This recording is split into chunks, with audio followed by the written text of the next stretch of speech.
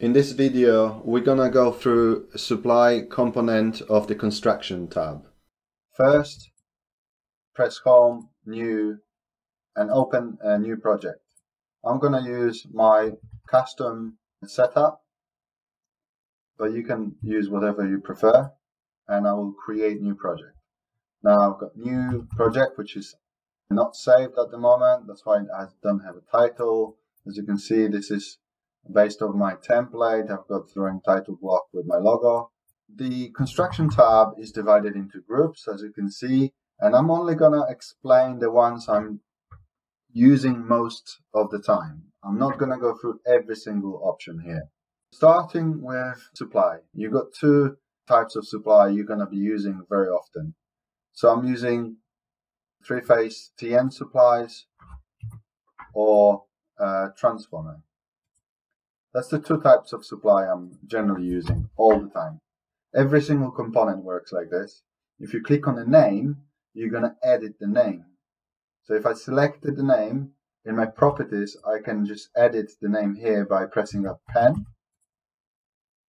Or I just double click on the name and a new window will open with the same kind of options where I can select the pen to edit the name. And again, I would rarely use this default settings. I would always go non-standard, source one. I always use non-standard. Then in Transformer, it works the same way.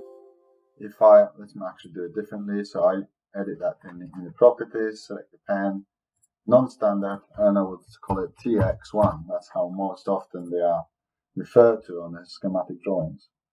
So we've got the source, but what the uh, characteristics are, double click on source, fault conditions. This is where you set up your fault conditions, your line fault and air fault and ZE.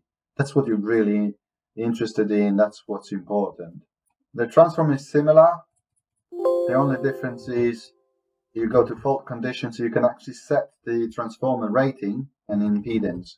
The impedance you take from the transformer Uh, nameplate. So this is an example of transformer nameplate. If you, let me just zoom in. If I zoom into impedance, you can see the impedance is 4.75%. That's the value you're going to put there, 4.75%, and apply. This will then automatically calculate the fault levels and the ZE for your installation.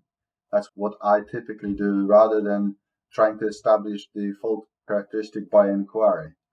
So once you go through that, that's how you can then start building your system and then move on to adding more components, which will be shown in next video. Thank you for watching.